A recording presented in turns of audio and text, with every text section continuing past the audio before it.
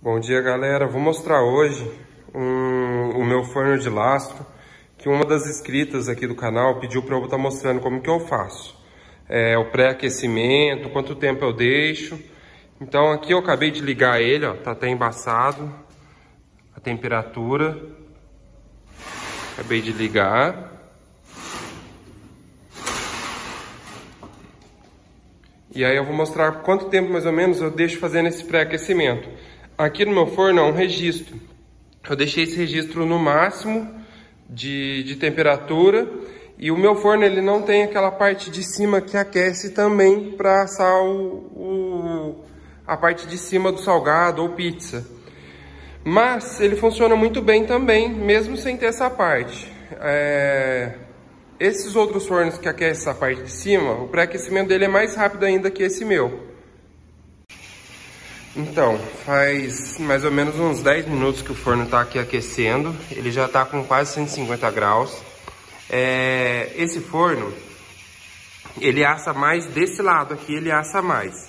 Então eu sempre uso esse lado e ele assa mais para frente. Então sempre quando eu preciso assar um salgado, eu dou, eu viro ele sempre para ficar com a mesma cor. É muito difícil ter um forno de lastro que assa 100% igual aos salgados. Não existe sempre tem um que assa uma, uma parte que assa melhor que a outra. Agora eu coloquei o bolo para assar, um bolo de fubá cremoso, e eu coloquei ele na temperatura mais ou menos 180 graus. É, é uma temperatura ideal para assar salgados, mas cada forno depende também, porque esses mostradores nem sempre são 100% certos.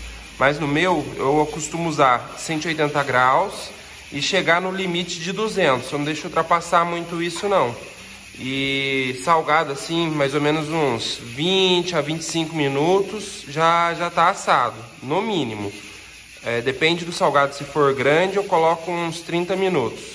E sobre o consumo de gás, eu uso esse gás aqui, o cinza. E eu não acho que o forno consome tanto gás assim por conta do tamanho. Esse forno de lastro meu, ele é de 1 metro por 80 centímetros de, de frente. Então ele tem 80 por 1 metro. Agora eu vou virar o bolo. Esse bolo eu asso ele em banho-maria. Vocês podem ver ó, que esse lado não assou tanto e esse lado está mais assado. Então eu viro ele aqui ó, para assar melhor.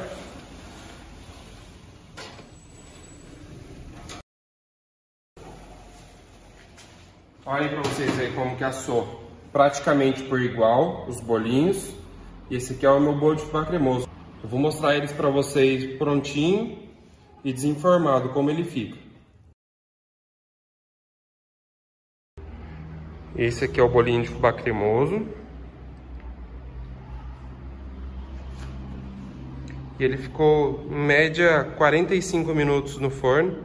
Ele é um bolo bem cremosinho. Você aperta, ó, ele é um bolo muito macio. Então, se você gostou do vídeo, deixa um like, se inscreve no canal para estar tá ajudando a gente a crescer a cada dia mais. Muito obrigado por ter acompanhado até aqui. E um abraço até o próximo vídeo.